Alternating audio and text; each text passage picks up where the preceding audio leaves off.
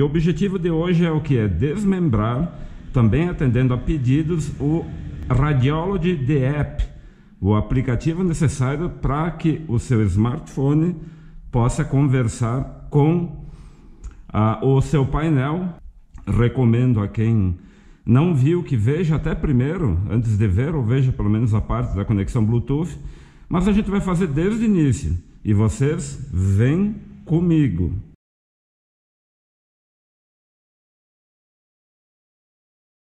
O aplicativo Radiology The App, ele tem disponível tanto para o Android como eh, também para o iOS. Ele utiliza uma conexão Bluetooth com o painel da moto e vai lhe permitir obter os dados de uso e manutenção da moto, alterar a configuração da moto e gravar a telemetria do uso da moto para uma revisão posterior.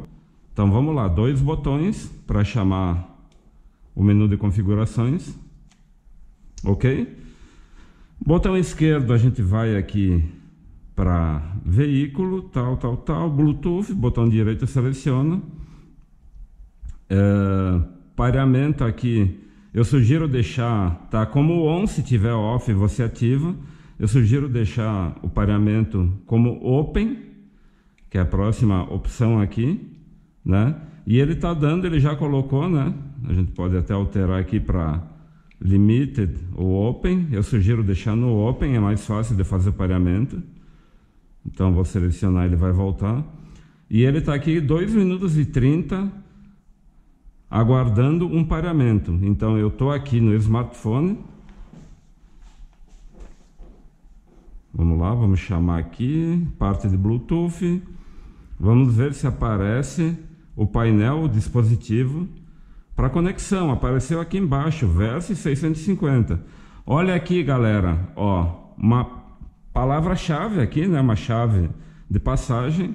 Então eu, eu tenho que digitar para fazer associação 765613 parear aqui no celular.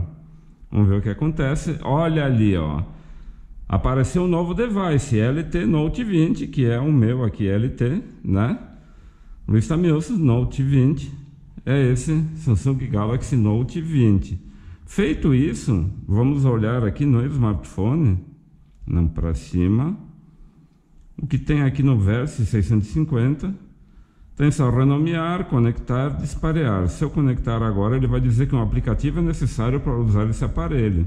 Exatamente, é só pelo, pelo menos que eu saiba, fora algum hack, pelo Radiology The App. Então a gente volta aqui, volta a Bluetooth, até encerra essa parte, o minimiza, segura apertado para voltar ao nível anterior, dois botões no menu aqui para voltar para o painel. Então, chamando aqui no smartphone a app Radiology, ele demora um pouquinho para carregar. Agora o que, que a gente vai fazer? Vai estabelecer o Bluetooth, olha aqui está aparecendo no trip B, embaixo, aqui nessa área que eu já alerto que é uma pequena área de mensagens no app, eu venho no capacetinho. Eu já tenho um usuário criado, que é o tio Lu, olhando aqui à direita, dá para botar uma fotinha e tudo mais, tal, que é o nome dessa conta no app Radiology. Então aqui, gênero, nascimento, quantos anos que roda, tudo mais, tem outras informações aqui. Aqui as configurações de privacidade, se você concorda participar de um ranking de, de pessoas que também estão andando, isso é meio a parte social, né? Você pode seguir outras pessoas e compartilhar uh, os seus rides, né? Suas viagens. Se permite uh, seus dados pessoais, localização e tudo mais, mas isso não importa agora, só tem que ter essa conta criada. Adicionar um novo veículo, essa parte importante né? Temos aqui a Verse 650, então vamos clicar e clicar em conectar. Do you want to connect with o Versys 650? Ok. Pagamento está em processo.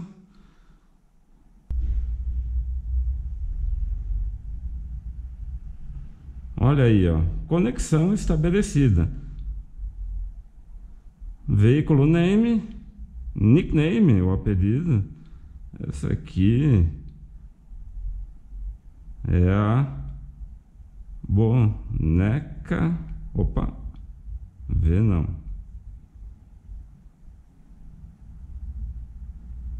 Boneca reload. Verso 50, 650, ano 2022, 650 cilindradas. Aliás, falar em boneca reload, um abração pro Rafael, aqui da cidade de Montenegro, aqui no Rio Grande do Sul, que foi a sugestão desse apelido do boneca reload. Aqui tem mais lá, multipropósito, tal, submit. Perfeito, a princípio parece que está ok, vou dar submit de novo, ele não foi muito claro. Está piscando, está gravando. Tendo então o menu da esquerda, o odômetro. Vamos sair aqui do painel. Vamos voltar aqui para dar uma conferida. Trip A está tá com 138 km, já tem algumas configurações que dá para a gente ver aqui. Trip A e B zerados. Tempo total de uso da moto ligada 4 horas e 18 minutos. Range aqui não tem ainda, não liguei a moto. O combustível está no fim. Fechando aqui com aqui. Né? Consumo também não tem, porque a gente não andou com a moto ainda, é a primeira conexão. Velocidade média zerado, o ângulo da moto para a esquerda e para a direita. Estou até curioso para ver se isso aqui vai mostrar, viu? Aqui, quem viu o vídeo do painel vai lembrar que a gente explicou que tem o serviço de manutenção Kawasaki Services, está setado para 900 quilômetros, ou a partir de 1 de março do ano que vem aparecer aparece aqui, como a gente explicou no vídeo do painel, uma mensagem, um alerta, dizendo, alertando da revisão, no caso, a revisão da moto, que tem dois anos de garantia, Versa 650 Tourer, já tinha antes, a 2023 continua. Troca de óleo, né? Você configura aqui também, quando fizer troca de óleo, aqui pelo próprio app Radiology, the app, ou lá pelo painel, mais fácil por aqui, vai setar a próxima troca em quilômetros ou data. Então ele mostra o que vencer primeiro, mesma coisa para o Kawasaki Services.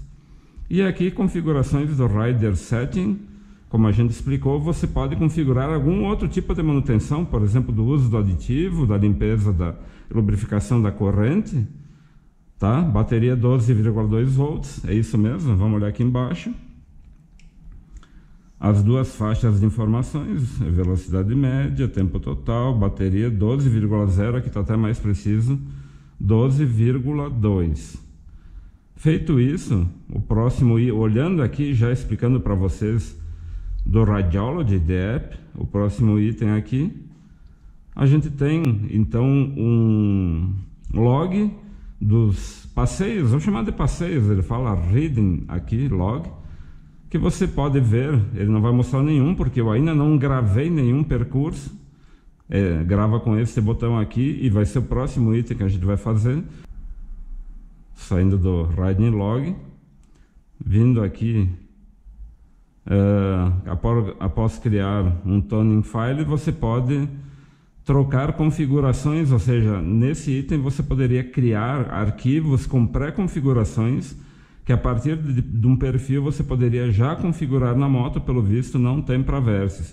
Claro, aqui Ninja H2, Ninja 1000, né? são poucas as motos que você consegue criar um profile com configurações pré-definidas, porque você poderia criar uma configuração, por exemplo, já com calibragem de suspensão, já com modo de condução. Algumas motos também têm o tempo de resposta e tudo mais. Não é o caso da Versa, então esse item fica de fora. Tá? Isso só para as top motos com vários itens configuráveis. A parte de manutenção que você pode ter um pequeno diário que você pode incluir itens para um acompanhamento de manutenções. Então você vai aqui na chavezinha Pode botar um título, qual é o veículo, no caso a gente só tem um, a Versa 650, a data, o odômetro que estava, né? Eu não sei se ele não vai pegar depois com a gente salvar a quilometragem, o lugar e aqui colocar, olha, fiz a lubrificação da corrente e tal, permite ter um log de manutenção que você vai editando e vai incluindo e depois ele passa a aparecer aqui na sua lista. olhando aqui, a gente já olhou os menus. Olha aqui que interessante a parte general. Apesar dele não permitir criar profiles com pré-configurações das regulagens da moto que você quer ter, por exemplo, uso esportivo, viagens e tal, do lado direito você tem aqui o General com alguns itens. Então, até já me perguntaram por que, que eu tinha colocado como limite aqui no tacômetro ou conta giros 5 mil giros, que é o que ele está mostrando aqui, e não 4 mil giros, né? Isso para não ficar piscando toda hora e porque a faixa de giro até 4 mil, já adiantando aqui, eu acho muito baixa, então eu deixei 5 mil. A moto, obviamente, está. Eu estou tendo todos os cuidados tal, porque ela está ainda em fase de amaciamento, então até os mil quilômetros tem que andar muito de boa e depois moderadamente ir aumentando.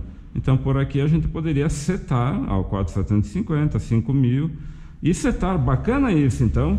De novo, confirmando que aqui pelo Radio, uh, Radiology de App você consegue, por exemplo, notificações que aparecem nessa parte de baixo da barra, além do símbolo do Bluetooth, se tocarem, tiver uma ligação enquanto você estiver andando com a moto, né? Claro, não é um painel aí, não é um Android alto, não é um negócio que você vai atender a ligação, mas você deixa setado aqui vai aparecer um alerta, claro que tem que estar de olho aqui nessa área de notificações. E você tem, vai ver aí que teve um telefonezinho, teve uma chamada. E também eu vou ativar aqui, opa, aqui, e-mail ou SMS também vai aparecer outro ícone do lado. Aqui é o que eu já tinha configurado no painel, então você pode configurar as unidades para quilômetro, a, quilômetros por litro, temperatura em graus centígrados, o formato da data, então ele tem algumas configurações que podem ser feitas por aqui.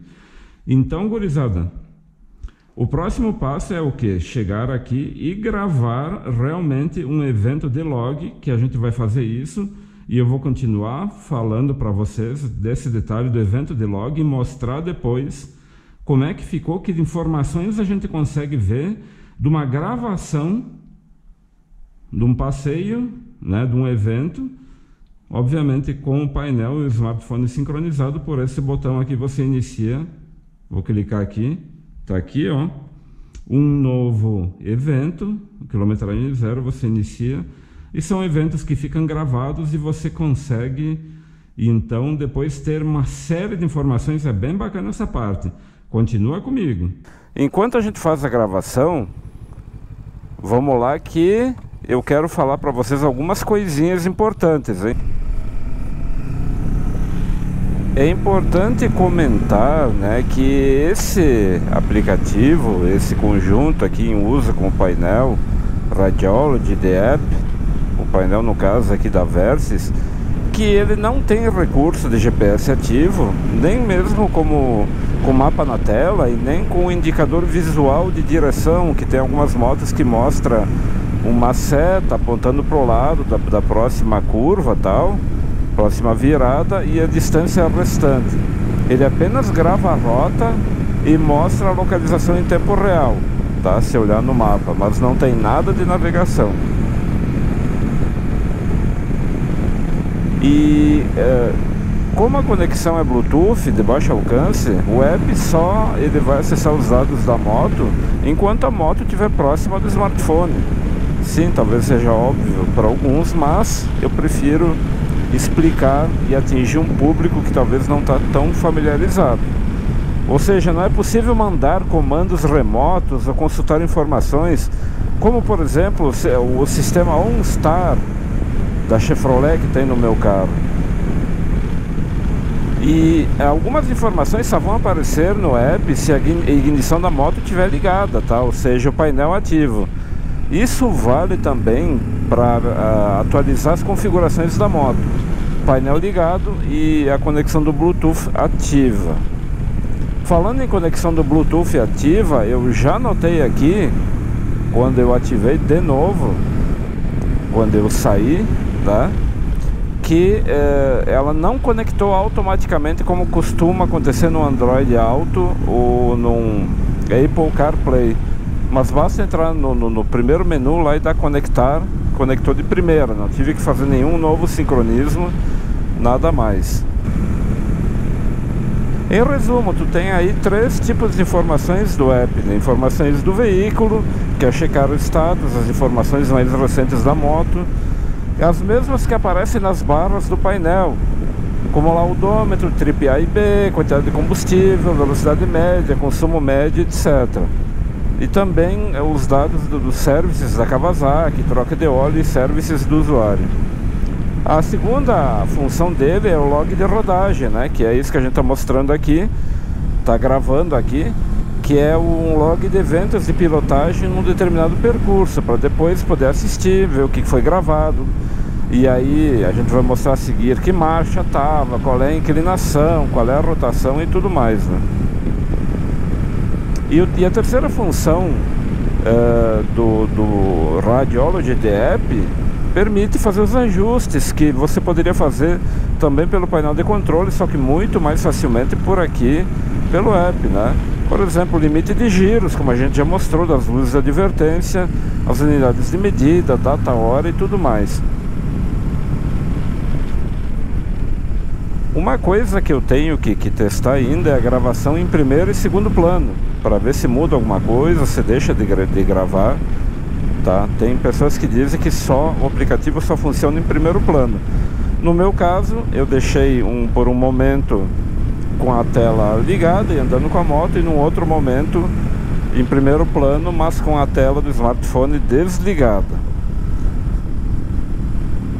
Então é isso, gurizada. Fica comigo que agora a gente vai ver os dados de rodagem. Então vamos lá, gurizada, meninos e meninas, titios e titias, para a parte final do vídeo, onde a gente vai mostrar aqui, estamos com o app Radiology, aqui no, na configuração tal, a última conexão está falando da Verse 650, e a gente vai então ver como é que ficou a gravação do log do percurso que eu fiz. Então a gente vem aqui na segunda flechinha, no segundo item, aliás, esse que ficou em verde do lado do botão verde, tem aqui a, o primeiro rolé, 11h36 que eu fui, fiz 8 km e acabei não filmando para mostrar para vocês. E o segundo aqui, que foi agora dia 16 do 9, 8 km também. Vamos olhar esse segundo. Então clico nele, ele já dá um sumário que com qual moto foi, você pode ter mais do que uma moto no, no sistema ao mesmo tempo, a data, onde é que eu estava, né? Aqui a quilometragem, velocidade média 71 km por hora, né? O consumo médio 22,4 km por litro. Aqui ele não gravou o ângulo de inclinação, então aparentemente para Versys não tem esse dado. É uma pena que não tenha. Então aqui olhando o gráfico, aqui em cima a gente tem ah, num, resumo, né? O, o trecho percorrido até a chegada. É possível colocar para executar mais rápido em duas vezes ou cinco vezes aqui. Né? Vamos deixar duas vezes. E eu vou dar um play e ele começa a mostrar, né? não está mostrando nada aqui, vamos botar o speed. Você vai setando as coisas que você quer, quer ver, né? Aqui eu estava com a moto parada ainda, ó, 4, 6, a velocidade acontecendo. Ah, eu quero ver as marchas também, você pode ir rodando para o lado, né? Velocidade média, os giros, vai ficando poluído, você ativa e desativa. Tem mais aqui aceleração, temperatura da água, tal que também, olha aqui, a temperatura do líquido de arrefecimento 72 graus, 71, né? Eu posso, obviamente, desativar os outros itens, se eu quero olhar só algum detalhe, aí eu quero ver só a velocidade e como é que estava a temperatura em 74 graus do líquido que mais que tem pro lado aqui? Não é todos os itens que ele mostra. Não, a animação seria a motinho girando aqui, mostrando inclinação. Como ele não grava inclinação, a gente tem o sumário, tem os gráficos. E isso permite, segundo a própria Kawasaki, você aprimorar aí, olhar o trecho, olhar a velocidade. Claro que faz muito mais sentido num percurso, tá? daqui a pouco até numa pista, mas é interessante, aí fica por sua conta. Então, pra, olhando o mapa aqui para finalizar, é possível você dar um zoom e ver em que região você estava passando aqui. Interessante isso também.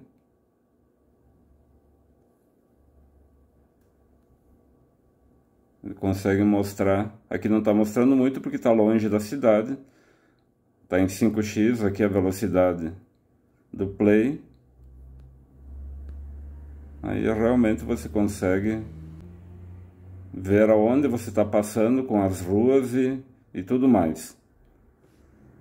Espero que tenham gostado. Se gostaram, lembra de deixar aquele like power. E se não é inscrito, vem com o tio Lu, vem fazer parte do Tamioso Motociclismo. Valeu!